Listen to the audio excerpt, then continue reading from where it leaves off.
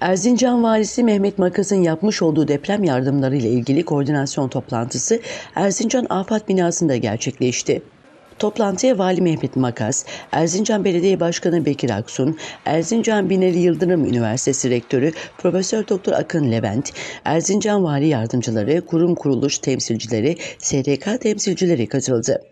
Vali Makas deprem için toplanan yardımların hemen hemen çok başarılı olduğunu söyledi.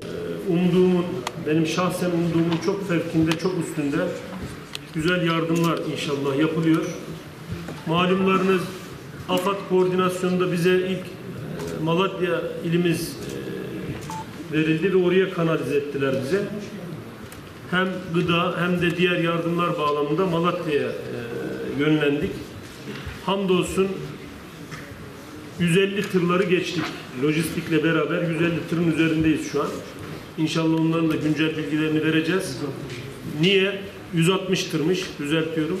Niye? Bizim haricimizde de Can Erzincanlı pick-up'ını dolduran gidiyor. Bunları saymıyoruz. Kamyonunu dolduran gidiyor. Oraya bir e, aman vermek adına, o aman diyenlere derman olmak adına yol mesafe kat ediyorlar. Ee, Allah hepsinden ebeden razı olsun. Malatya ile ilgili özellikle gıda, yiyecek, içecek bağlamında fazlaca ihtiyaç kalmadı. Ama diğer battaniye, giyim, kuşam, soba bunları tartışacağız inşallah bu toplantımızda. İhtiyaç hala devam ediyor. Defin malzemelerinden tutun tabutuna kadar inşallah destek vermeye çalışıyoruz. Bir kez daha vefat eden vatandaşlarımıza Allah gani gani rahmet etsin. Belediye Başkanı Bekir Aksun da yardım eden Erzincanlı vatandaşlara teşekkür etti. arkadaşlar görev alabileceğini söylüyor.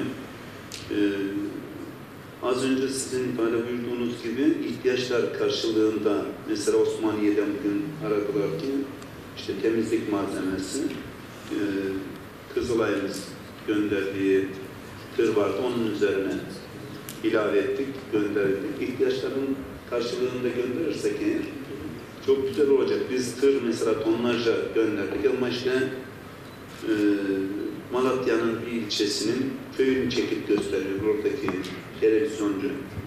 İşte kar sularıyla kapatılıyor falan diye. Bunlar tam yerine ulaştırma noktasındaki aksaklıklarımızı giderebilirsek sıkıntı olmayacak.